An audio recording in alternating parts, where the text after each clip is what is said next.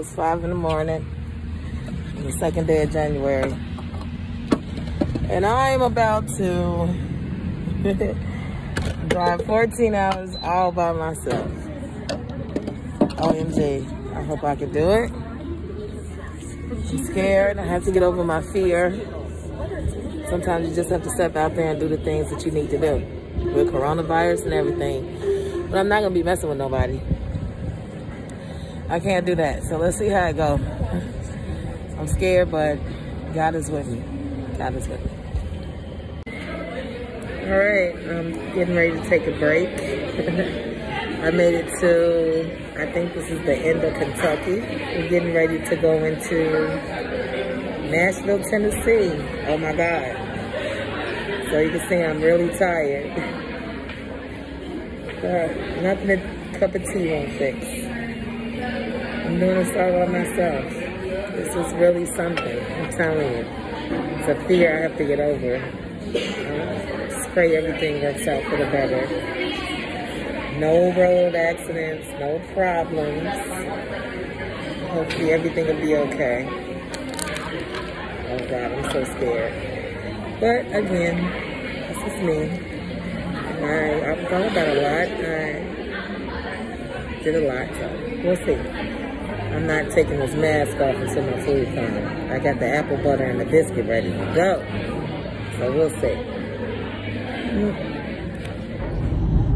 I don't know what road this is, but I'm on this road by myself, literally. Well, you know, it's a couple cars that pass.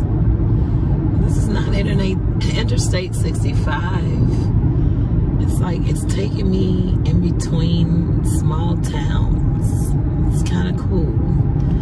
It's also scary. I want to get out of here. I don't want to run out of gas or nothing. Oh my God, this is just really scary. And when I say twist and turns, OMG, just gotta watch it. And I'm seeing so many farms it's really, really cool. Cool. It's really cool. All right. I think I'm in Tennessee now. We'll see. Oh, I had so many thoughts when I rode through Tennessee. I had to pull over. It was so inspiring. I mean, I had I thought about my relationships, I thought about my children, I thought about my business moves. I mean, this really gave me a peace of mind. I'm so glad I took this road trip by myself. I would never forget this experience in this mountain in Tennessee. Okay, it is five something in Atlanta, four something in Chicago, and I made it. I did it all by myself. So get ready for the pictures. I did it. Uh-huh, I am here. Oh my God, I'm so tired. a so I made it, and immediately my best friend took me to dinner. It was literally a taco bar. OMG, you guys have to check it out. It has live music. They make your guacamole right at the table. But I really didn't come here to kick it. I came here to take care of my business. And if you guys stick with this channel, you're going to find out what it is Miss Mikko got brewing up her sleeve. So right now, I'm just looking at some things, you know, because of course, the child has to live good, you know. Well, we're trying, and we're going to see what the housing realtors have for Mikko. May the housing realtors of God shine down on me. Especially after I saw Rick Ross' house. You know, the sister's a little salty.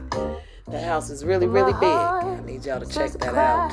Oh, oh my God. I am an hour late. I was supposed to leave at 4 in the morning. As you can see, it is 7.09 in Georgia, and it is 6.09 in Chicago time, and I'm on my way home. Oh, but I'm going to have a date with myself today. I'm not going to rush it. I am going to get around this damn mountain, though. oh, God. It's going to be a real serious vlog today. Let's see how many things we can see today. I'm excited. Getting ready to get on 75.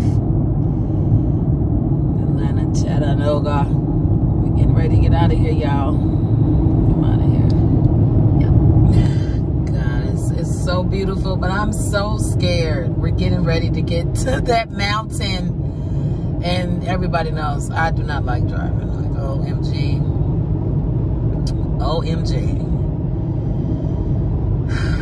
When I see these mountains getting closer and closer, where really we, we came through. So I really believe Atlanta is in the mountain, to tell you the truth, because ain't no way in hell. I just, oh Lord, pray for me pray for me. So I'm gonna get through this mountain. Let's see if we get down to Chattanooga, Chattanooga, if I'm saying it right. And if we do, we might stop at my favorite lake. I want to stop at my favorite lake.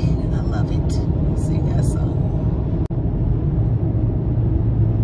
I'm getting ready to do it. Oh my God. All these mountains. This is this is the, the nerve-wracking part, okay? I'm from Illinois. We live on flat land. Flat land. Girl, I've been traveling flat land my whole life. Getting, on these mountains, baby, bad. Bad. It's cold. -mm -mm. It is so cold. I'm in Jasper, Tennessee. Crazy. To see.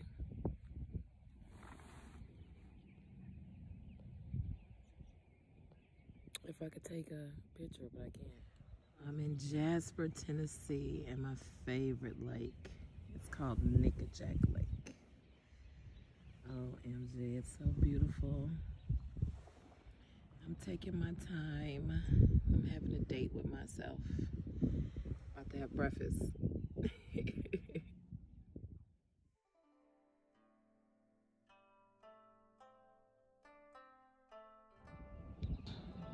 Has to be a God. That's the name that was given to us. But when you really sit down and meditate and you think, like, who would have thought of rivers and mountains and trees?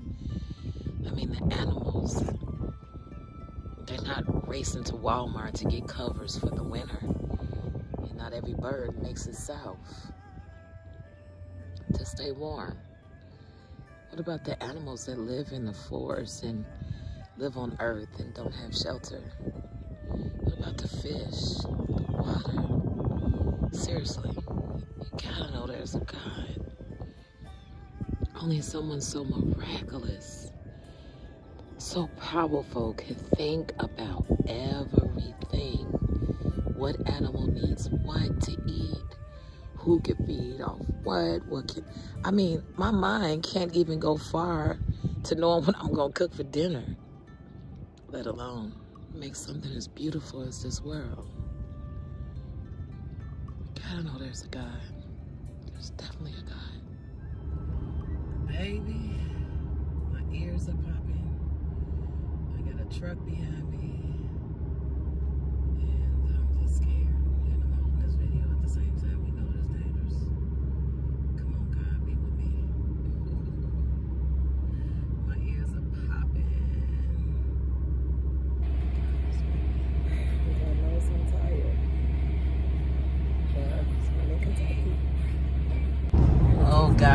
Kentucky. I'm in Kentucky now. Oh God, let's see if I can get over. I am in Kentucky we are hitting the bridge. We're in Louisville.